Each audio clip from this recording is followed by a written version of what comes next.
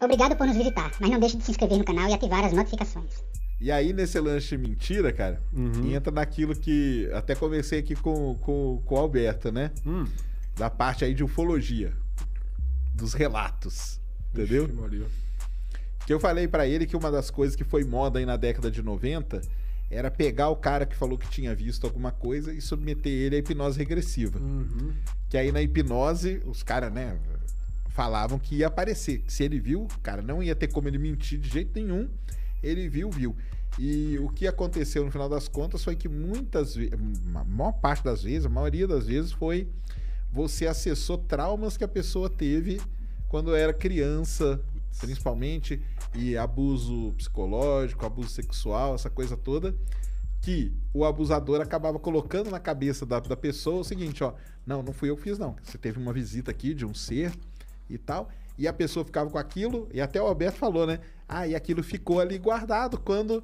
Só que aí quando você fo- foi na hipnose, você resgatou esse negócio dela. Que maravilha, né? E aí não pegou o, o que era, né? Ou seja, ela não tinha sofrido Abdução. Ca- né, abdução nenhuma, nem visto nada, nem nada, né?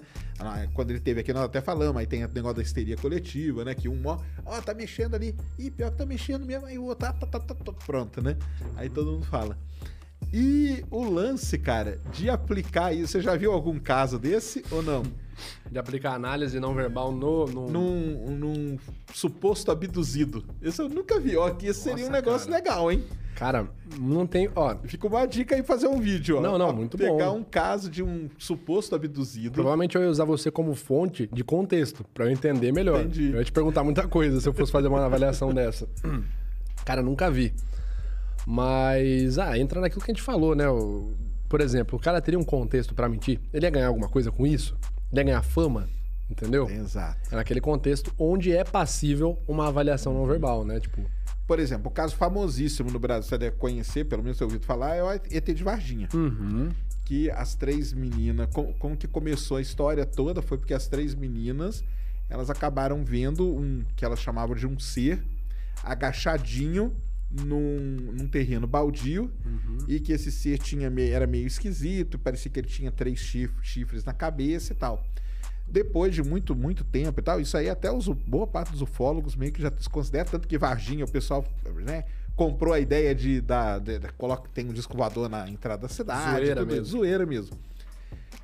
Parece que o, que o que aconteceu com elas foi que elas criaram essa, essa mentira Uhum. e aí elas tinham que sair sustentando isso pra, pra sempre, Cara, entendeu? e virou uma coisa comercial. Porque assim, a cidade teve muito, muita coisa nesse sentido, né? A cidade teve, elas também, mas depois o que, que aconteceu? Elas viraram motivo de chacota. Hum, Porque, eu falo, aí foram, até falam, não, que o que elas viram foi o. É um mendigo famoso que tem aqui na cidade e que ele sempre tava naquele terreno baldio. E aí, cara, tanto que elas tiveram seríssimos problemas de nem sair de casa, entendeu? nesse caso, a mentira faz total sentido. Precisar mentir. Então, mas ela precisou. Mas aí que tá. Porque elas, vamos dizer assim, elas. Talvez elas possam. Elas. Eu não, nem digo que elas mentiram pra ficar famosas. Talvez elas possam até mesmo ter confundido. Entendeu? Ó, Opa.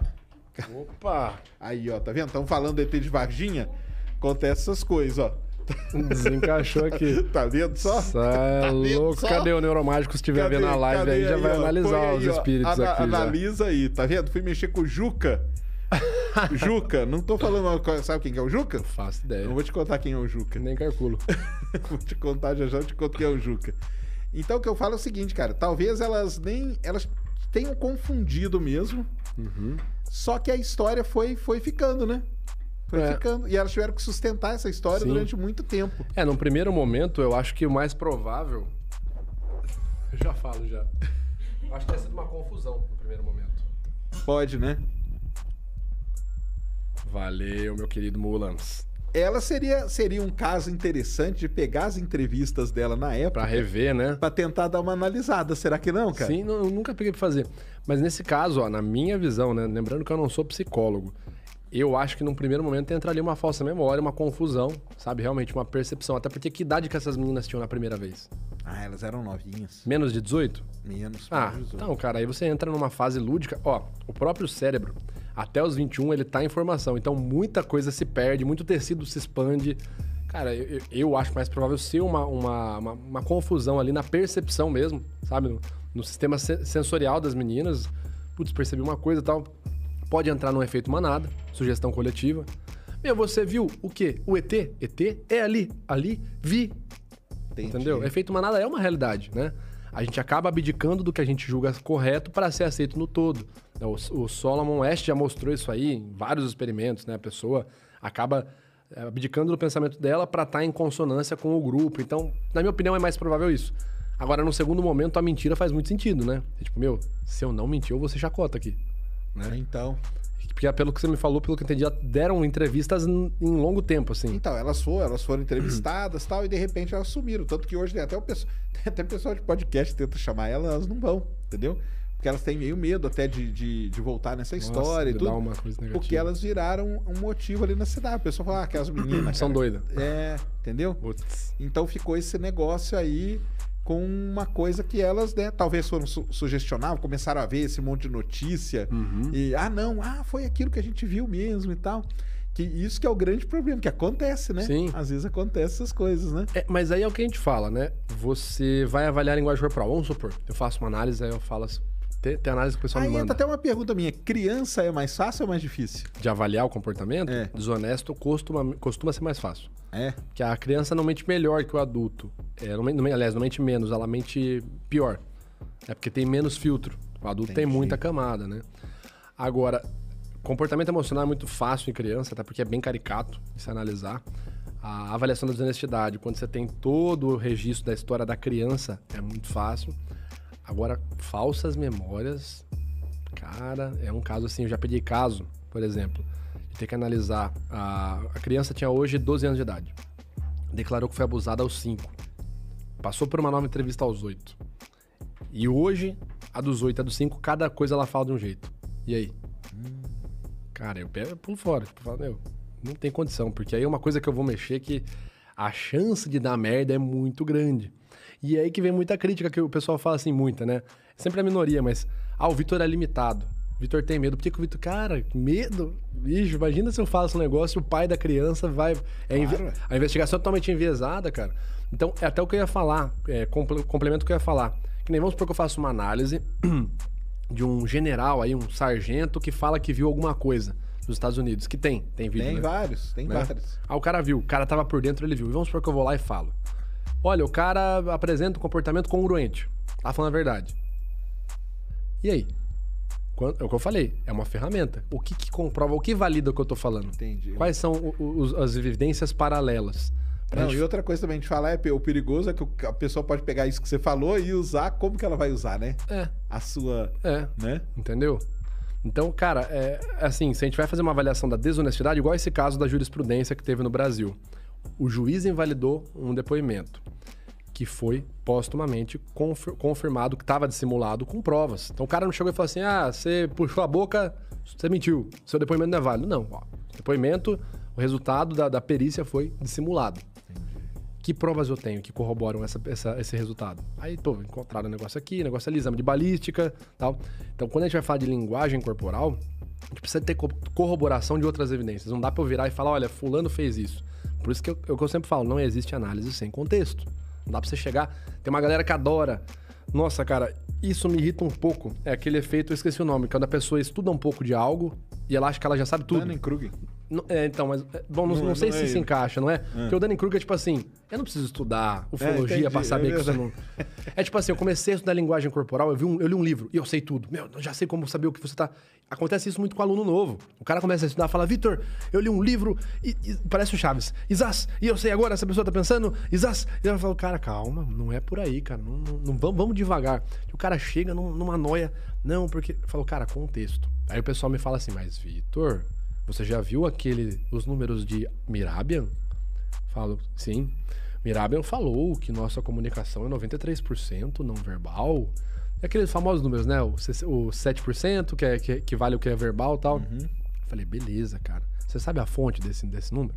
Você sabe o que, que era esse estudo do Mirabian? Não tem nada a ver com o que você está falando. Cara. Mas vamos fazer um exper- experimento prático? Já que você tá confiante, você lê o livro, né? Tá. Vai pra Rússia. Você fala russo? Não, vai pra Rússia. Se vira só na linguagem corporal. É, já que é 93, Já você que não é, tem porra, problema é, nenhum, né? Porra, ou assiste um filme russo, sem legenda. Tá, porra. É. Então não existe análise sem contexto. Inclusive o Merabian era uma pesquisa social, era para falar de comunicação em contextos emotivos e a comunicação corroborada com contexto, né? Nesse, nesses sinais, nesses estados, sim, quando eu estou num momento altamente emotivo, minha comunicação tende a ser majoritariamente é, não verbal naquele momento. Quando você vai ter uma relação, por exemplo, com a sua esposa, uma relação sexual, você não fala, olha, vou transar com você agora. Não, você manifesta uma relação física, porque você está muito emocionado, muito emotivo, um beijo. Quando o filho nasce. Cara, eu não lembro do que eu falei quando minha filha nasceu. Eu lembro que eu fiquei. Eu chorei, eu olhei. Eu, eu lembro de tudo que eu fiz verbalmente, mas eu não lembro do que eu falei. A minha esposa É. falou, porque você não falou nada. Entendi. Foi tudo Caraca, não verbal foi mesmo. tudo não verbal. Aham. Mas é naquele momento. Não é que você vai sair analisando todo mundo 93% porra nenhuma, entendeu? É, não por aí. pode aplicar assim, né? Do jeito que, que tem. Tem gente que aplica desse jeito, né? E aí que Tem gente que vende curso pra, disso aí. e é aí que começa a entrar e vira essa bagunça. Aí é a né? linha que a gente falou. É a linha, aí né? você já tá na pseudociência, aí você já pulou ali. A forma do seu corpo vai falar o seu. Cara, não existe evidência científica pra isso, entendeu? Esse que é o ponto. E aí entra numa questão de bom senso, né, cara? A gente tá falando do comportamento da psique humana. Se fosse tão fácil falar da psique humana como olhar pra forma do corpo, você acha que Tá, é, tá tudo resolvido, é, né, cara? exatamente. É igual quando eu falo assim, a galera da, da, da- fala das pistas oculares. Ah, você olhou pra cá e mentiu. Pô, então não existe análise. É só esperar o sujeito olhar pro lado que você falou, porra. Não tem análise. Ah, olhou, beleza, caso encerrado, pessoal, vamos pra casa, né? Então essas, essas teorias que são assim, reducionistas, elas, na minha opinião, avaliando o contexto, já dá pra você perceber que o negócio é estranho, entendeu? É minimamente esquisito. Mas tem gente vendendo curso, tem gente fazendo aí rios de dinheiro em cima disso. E claro que quando eu vou e falo, olha, não existe nada mentira, uma galera fica pistola. Eu entendo, entendo, porque não vende curso. Você tá, é, Entendeu? você tá indo em cima do que os é, que é. É, e esse negócio aí que você fala, é a mesma coisa que eu falo do, do lance de. Das, da, na verdade, cara, é, isso é até legal aqui conversando com gente de áreas diferentes. Que o lance da pseudo, até falar de pseudociência que você fala bastante no metadata, né? Isso direto. Então. Fizemos um cara na bonassa, né? Pseudociência nossa de cada dia. Isso. Um, um padrão da pseudociência, assim, cara, é esse lance do cara tentar sempre ter um ganho em cima, tipo, da ignorância das pessoas, né? Sim, sempre vai ter alguém. É, exatamente. Tipo assim, meu. E, e- e é engraçado que eu vejo umas, umas carteiradas muito estranhas. Eu sou fulano da USP. É sempre assim. Os caras sempre fazem um apelo à autoridade gigantesco. E, Sempre e aí tem é um isso. conhecimento milenar. É. Ou é uma nova tecnologia, uma nova ciência que ainda não descobriram. E Inventa uns nomes, nada. Cara, mas eu falo, cara, é tão fácil, cara. Você É. vê. E eu conto aqui, cara, tem uns casos aí na, na, na astronomia de. Tem um que é o Nibiru, né? Que a gente fala. Ah, tá. Conhece o Nibiru? Conheço. Então. eu vi no seu canal também. O Nibiru é o que, que vai bater na Terra tal, não sei o quê. E teve um cara aí famoso, cara, que ele montou um grupo e ele vendia terra, entendeu? Porque era assim, você vai estar livre do Nibiru se você comprar o pedaço terra aqui, porque a minha região aqui, eu sei já que ela vai... Ah, como que você sabe? Não, porque eu sou doutor não sei aonde, eu tenho aqui o apoio do fulano de tal, que é astrônomo não sei da onde. E eu falava, galera... É tão simples, cara. Você vai lá e pesquisa o nome do que, do que ele tá falando, entendeu? Sim, sim. Existe alguma correlação Exato, disso? Tá? vai. Não. Então, cara. E gente deu muita grana pra esse cara, o cara pegou a Nossa. grana e sumiu, cara. Sim. Entendeu? Então é onde.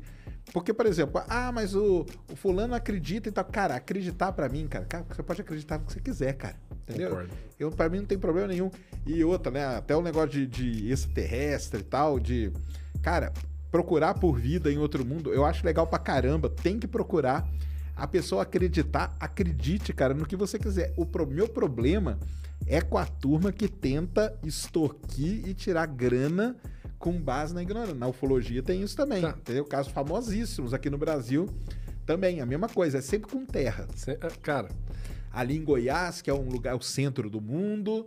Você vai estar protegido do grande arrebatamento, então compra aqui minha terra. O pessoal que vai, cara. isso, E o cara. pessoal compra, vende em Ah, você casa. tá brincando? O cara vende- a terra do que vai estar livre do arrebatamento? É, porque ali é o lugar que é o que, é o que vai estar ali. E o pessoal Isso, acredita nisso, porque o cara faz uns apelos assim. Cara, tem especialista em, em linguagem corporal no Brasil que grava vídeo ajudando a, a pessoal do tarô jogar o tarô com técnicas de linguagem corporal de persuasão.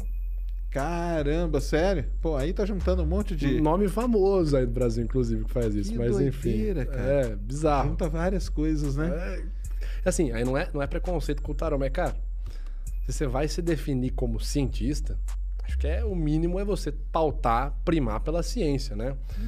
E é isso que eu falo. Quando eu vou lá e falo assim, linguagem corporal é limitada, né? Que a gente tava até conversando em off, né? Eu, eu comentei que esses dias atrás o, o Bruno Farias, né? Um psicólogo, um doutor respeitado pra caramba no Instagram, sigo ele, inclusive, um perfil muito bacana.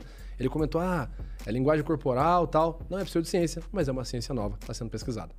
Cara, falei, é isso aí.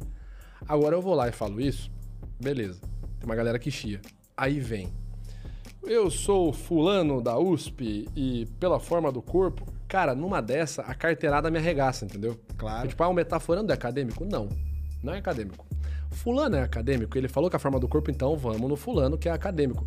A gente parece que tem uma cultura, né, ou seja, aqui no Brasil, de messias. A gente precisa ter o cara que vai salvar a pátria. Não é a ideia, é o cara, né? Vamos, vamos focar nesse cara aqui, entendeu? É, é dureza. Cara, não é, Dureza. não é a ideia, tipo, é quem falou. Ah, esse cara aqui, puta, ó, mas é o cara, meu. A carteirada é uma- um caminho muito rápido, né? Eu sou fulano tarará de tal faculdade. Resumir. Não preciso te provar mais nada, né? Em teoria. E aí, o que você achou disso tudo? Deixa aí nos comentários. Só não esqueça, não precisa xingar nem ofender ninguém. Deixa o seu joinha, não custa nada e nos ajuda demais. Convide seus amigos.